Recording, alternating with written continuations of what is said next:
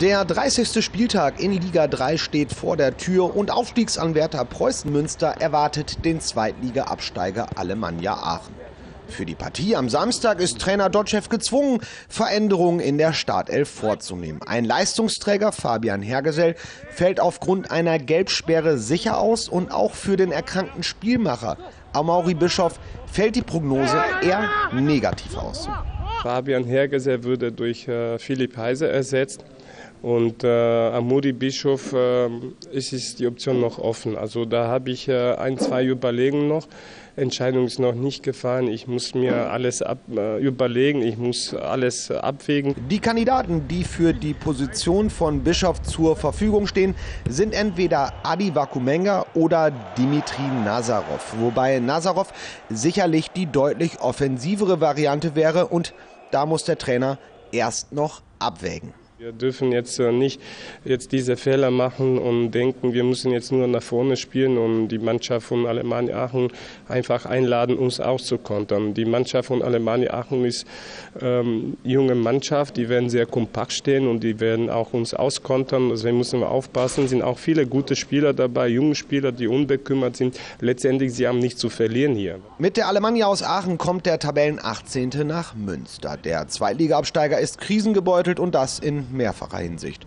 In erster Linie natürlich hängt die sportliche Talfahrt mit dem Insolvenzverfahren bei der Alemannia zusammen. Viele Leistungsträger haben den Verein bereits im Winter verlassen. Diese Woche gab es einen Zwei-Punkte-Abzug vom DFB. Doch Vorsicht ist geboten, denn das junge Team von Trainer René von Eck hat in den letzten Wochen gezeigt, dass man bis zum letzten Spiel kämpfen wird. Dieses Schicksal schweißt die Mannschaft äh, von Alemannia enger.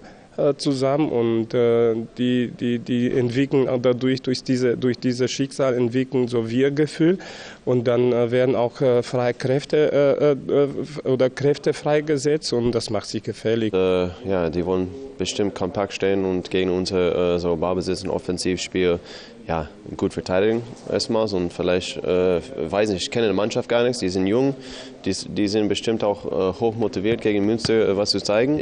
Es interessiert uns nicht so viel, wie die spielen, wir müssen unseren Job machen und, äh, und letztendlich ist es egal, wie die spielen. Die Preußen also ganz konzentriert vor der Partie gegen Aachen. Das Einzige, was Trainer Dotchev aktuell richtig nervt, ist das Wetter und die damit verbundenen schlechten Trainingsbedingungen in den letzten Wochen. Doch die Fans müssen trotzdem keine Angst haben, dass es dem beliebten Coach demnächst zu Clubs in Südeuropa zieht. Äh, müssen sich die Fans Sorgen machen, dass wenn ein Anruf aus Spanien kommt von einem spanischen Club, dass Pavel Dotschew sagt, so wie die Plätze hier immer aussehen, gehe ich lieber nach Spanien?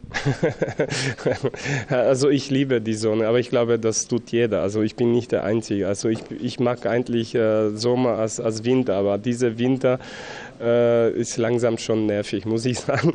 Und vor allen Dingen ist das wegen nervig, nicht wegen Urlaub oder sowas. Einfach die Platzverhältnisse sind einfach unmöglich. Also äh, ich trainiere schon seit Wochen, seit Monaten lang das, was ich äh, kann, nicht was ich äh, will. Und auch diese Woche äh, war komplette Woche auf Kunstrasen.